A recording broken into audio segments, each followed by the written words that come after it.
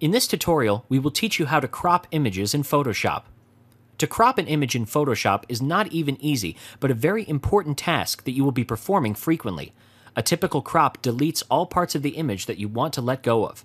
The first thing we need to do after opening the image is to select the Crop tool by going in the Image menu or by pressing the C button on the keyboard. Make a box around the area inside the image that you want to crop off. If you're not satisfied with the crop, you can adjust the crop boundaries as per your need. Once you're done with adjusting the crop frame, simply press Enter or double click in the crop frame to delete the unwanted pixels. At any moment, if you wish to cancel the crop, press the Escape key. There are times when you need to perform a specific sized cropping, for example 4 by 6 inches or 8 by 10 inches. So for that, there are two ways. One is that you enter the width and the height of the image you want manually by going on the Crop Tool options bar at the top. The other way to get this done is through the preset tool already available at the top left.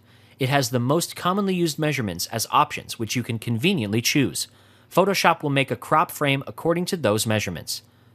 The hide crop option is used when, while cropping, you do not want to delete the pixels outside the crop frame as you might need them later on.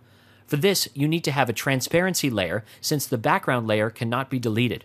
Therefore, double click on the background layer to produce a layer that supports transparency. Now select the crop tool and make a crop frame. Before you press enter, what you need to do is go to the crop options bar and click on the hide option. What this does is that it hides the rest of the image behind the layer and you can easily move the image around by using the Move tool, which you can select by pressing the V key.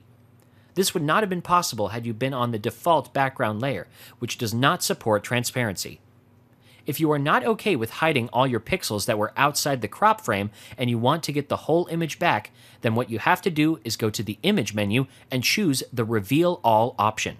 What this does is that it automatically brings back the whole image that you had cropped before.